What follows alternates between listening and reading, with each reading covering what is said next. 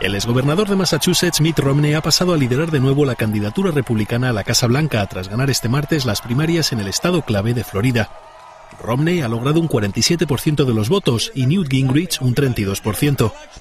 Muy por detrás han quedado Rick Santorum con un 13% y Ron Paul con un 7% de los votos.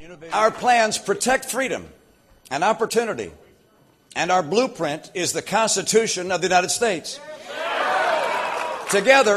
We will build an America where hope is a new job with a paycheck, not a faded word and an old bumper sticker.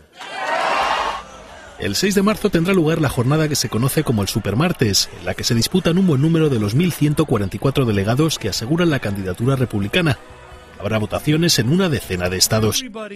Pero en este febrero que acaba de comenzar también habrá caucus en Nevada, Colorado, Maine, Minnesota, Arizona y en Michigan.